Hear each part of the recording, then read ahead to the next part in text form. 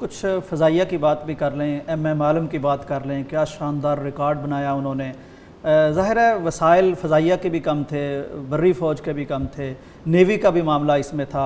और चुविंडा की ख़ास तौर पर जब आपने बात की तो किस तरह जब कुछ बस नहीं चला तो अपने आप के साथ बम बांधकर टैंकों के आगे लेट के भी वतन का दिफा किया। तो एम एम आलम के बारे में और फजाइया के बारे में कुछ हमें ज़रूर बात मेरे ख्याल में ये तो अल्लाह की तरफ़ से मदद होती है। अब जब आप एम एम आलम की बात करते हैं तो उसने एक फायर से जब इतने तैयारी एक ही लाइन में आ गया। एक मिनट से कम वक्त में। आप अंदाज़ा करें ना एक लाइन में इतने तैयारे आ गए। बोलो ये तो कोई अहमक से अहमक कोई जंग लड़ रहा हो तो वो भी इस तरह की प्लानिंग नहीं करता कि वो सारे तैयारे जो है वो एक लाइन में आ जाएगी। अल्लाह की तरफ़ से हो गया ये सिचुएशन बन गई और एक ही फायर से उन्होंने जो है वो सारे तैयारे गिरा दिए असल बात यह है कि फिर जब जज्बे जवान होते हैं और इंसान हक पे होता है और कौमें हक पे होती हैं तो अल्लाह की तरफ़ से मदद भी आती है। लिहाजा इस तरह के जो कारनामे मैं नहीं कहता कि किसी ने सर अंजाम दिए हैं बल्कि ये अल्लाह की अल्लाह की से। अल्लाह की तौफीक से ये सरजद हुए हैं और ये मदद अल्लाह ताला की मदद की दलील है। और डॉक्टर साहब ये मदद मिली उस जज्बे से उस ईमानी कुत से आगे बढ़ने से सरहदों पर डटने से? कामयाबी का मुझे डॉक्टर साहब एक कामयाबी का उसूल ये है कि पूरी मेहनत और अल्लाह पे भरोसा।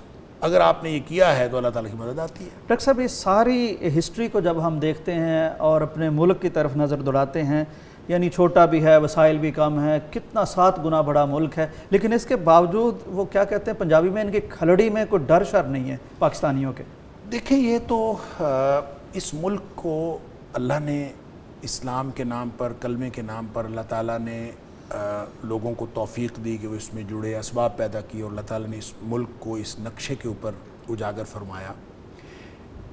ये हो नहीं सकता कि ये मुल्क जिन अवामिल से गुज़र कर और जिन हालात में ये बना है और जिस तरह के नामसाद हालात में इसने सर्वाइव किया है ये हो नहीं सकता कि इस मुल्क से अल्लाह ताला ने कोई बड़ा काम ना लेना हो। लिहाजा ये तो कहने वाले कहते हैं और जितने लोग भी तजियाकार हैं जो इस खत्े की पूरी सियासत को और जियो पोलिटिकल सिचुएशन को समझते हैं अल्लाह ताला ने नेचुरली पाकिस्तान को जो जगह और जो हदूद अरबा अता फरमाया है।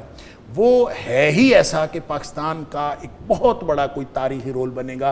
रहने दीजिए उन हदीस को। कि जिनके अंदर कोई सनदन, कोई मामलात हैं कि उसके अंदर सनदन जोफ़ है, हम कहते हैं कि नहीं, वो तो इस इलाके की निशानदेही नहीं करते। लेकिन बहरहाल ये जियो पोलिटिकल सिचुएशन भी और जो मुस्तबल के हालात हैं, वो सारे के सारे इस बात की निशानदेही करते हैं कि अल्लाह ताला ने नेचुरली पाकिस्तान को एक ऐसा किरदार दिया है जो आइंदा मुस्तबिल में बहुत बड़े गलबे की बुनियाद बनेगा।